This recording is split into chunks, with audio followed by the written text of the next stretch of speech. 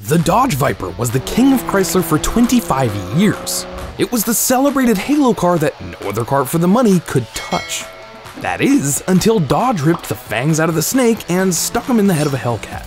And just like that, the track focused supercar slayer from Detroit was dead. How did that happen? The Dodge Challenger SRT Demon was introduced in 2017 as a limited production model.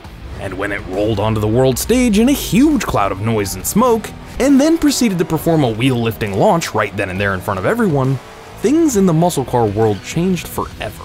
It had unprecedented performance. It was designed specifically for drag racing, and was in its day the fastest production car in the world in terms of quarter mile time, thanks to its supercharged 6.2 liter V8 that was largely reworked from the regular Hellcat version.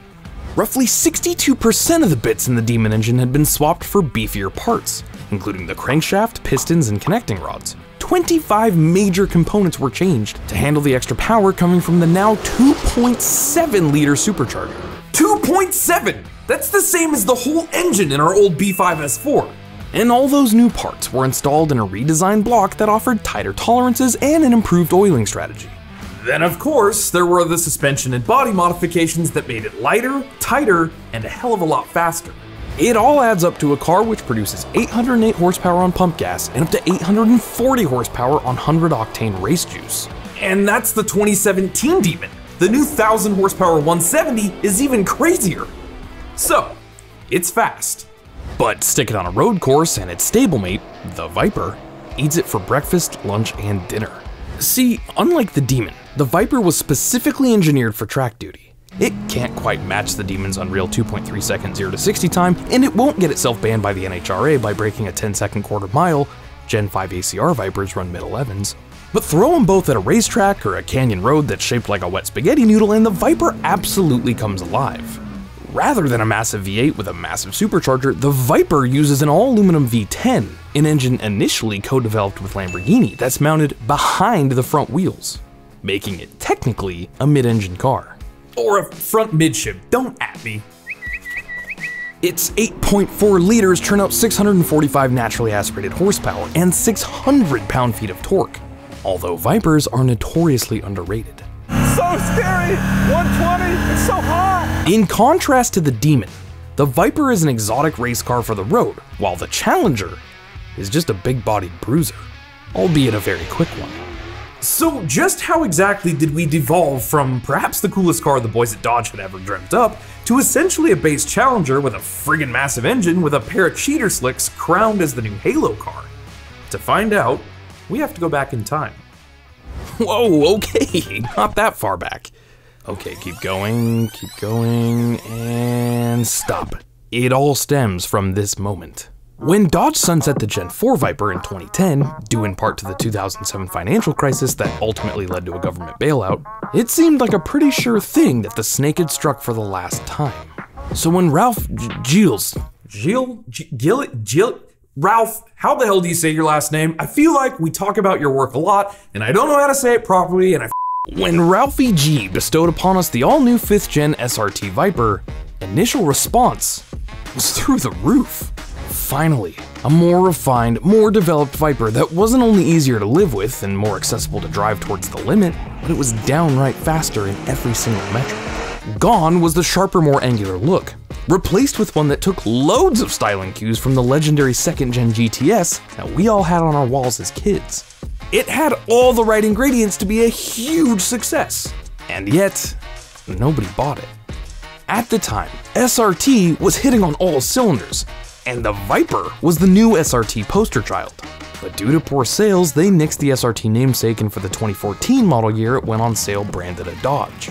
And they discounted the car by more than 10 grand, but even that just wasn't enough. See, in 2014, Chevrolet dropped the all-new C7 Corvette, and the Z06, which was just a year away, wasn't only substantially cheaper, it was easier to drive and nearly as quick as Mopar's new Serpent. It was just more accessible. And even though the Viper was an incredible value for the dollar, us young guys still couldn't afford one. And the older car guys that could pony up the cash were hit with a complete tidal wave of worthy competitors. This was all happening at the same time Fiat had purchased a controlling stake in the Chrysler Corporation. And while the Italians are all for building high horsepower, hugely expensive exotics, they're not so interested in losing money. And so, within SRT's walls, a new storm had started brewing. Completely separated from Team Viper, a new group of engineers and designers had started developing what would become the next high performance hit that people would want to buy. Something that didn't have to go toe to toe with other top tier sports cars of the world, and could genuinely be used as a normal car with which you could do normal car things.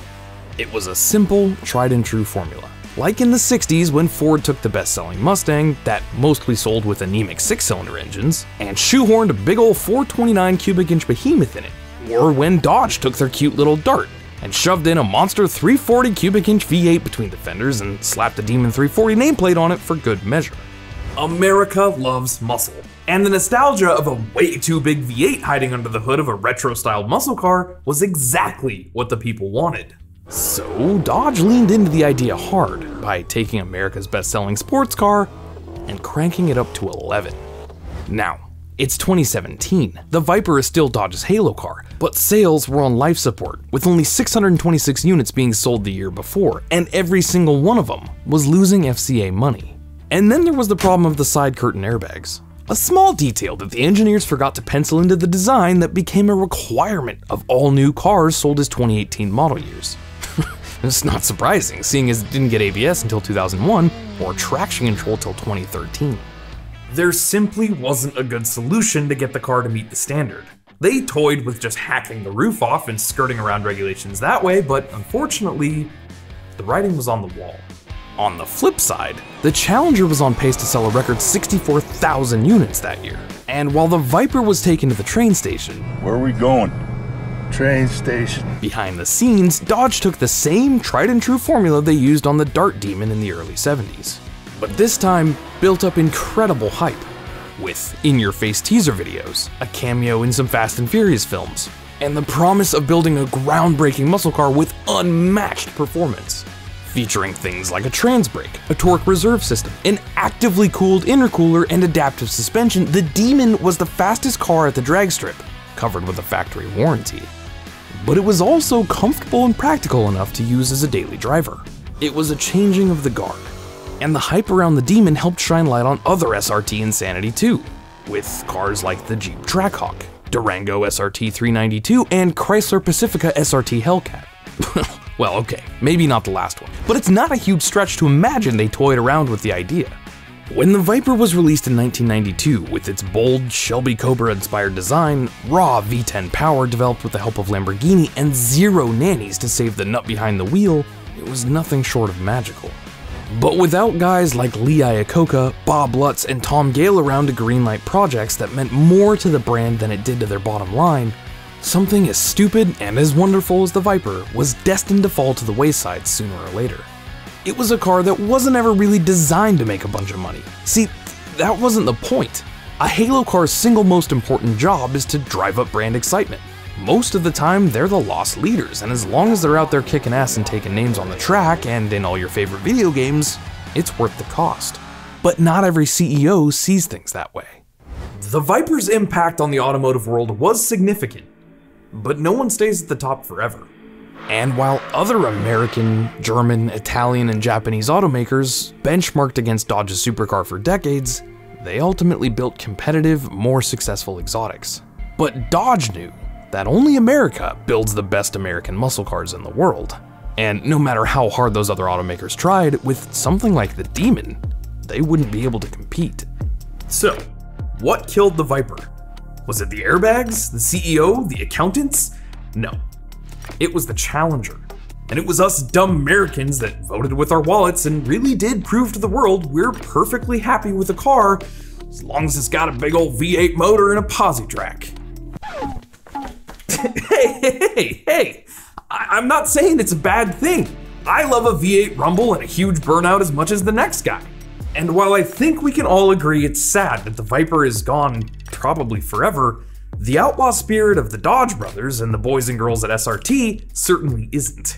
With FCA, Stellantis, and the rest of the automakers trending towards EVs, Get the popcorn ready as we watch a new Chrysler product gear up and try to take down the current kings of the castle. It's gonna get interesting. So there we have it guys. Thanks for watching and consider subscribing to Ideal for more automotive content coming at you nearly every single day. What do you guys think? Are you glad the demons stepped in as the crown jewel of Chrysler? I want to hear your thoughts down in the comments. Go check out this video up here or this one right down here. And I'll see you all in the next one.